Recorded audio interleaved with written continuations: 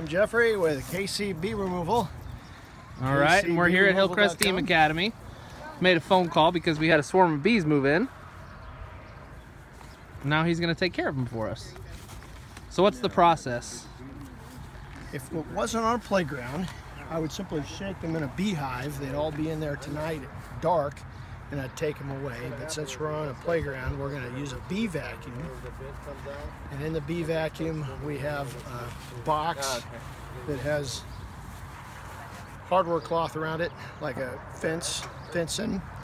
And then I put another box on the outside, and I strap a a vacuum to the box and create a vacuum and those bees then come through a hose into the bee vac into the little inner box and they're not hurt generally and then I then take them back and shake them in a beehive once I get them all in that box.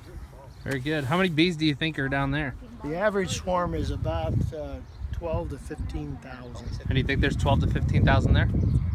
It's probably 12,000 there. 12,000 bees. All right. You're braver than I am.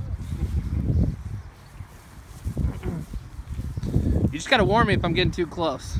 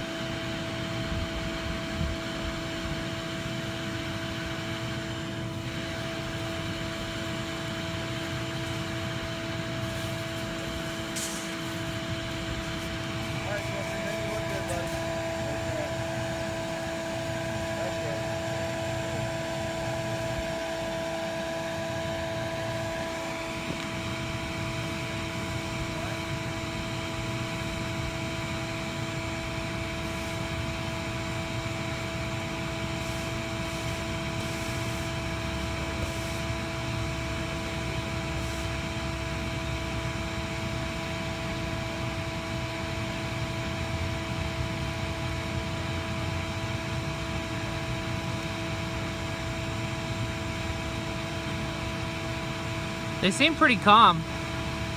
They are. They have nothing to defend. An Africanized bee colony behaves the same way as this does. You never know the difference until they hide. Once they hide, then they start getting dangerous. But so I'm okay over here even though they're getting close?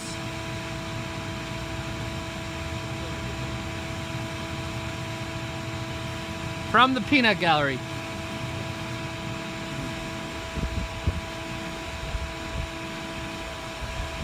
So that big lump there at the bottom is also a cluster of bees.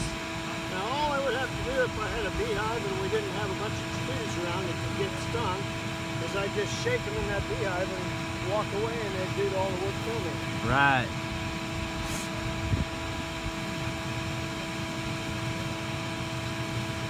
I'm going to try to avoid a drop of them onto the ground, which made a little more work for me.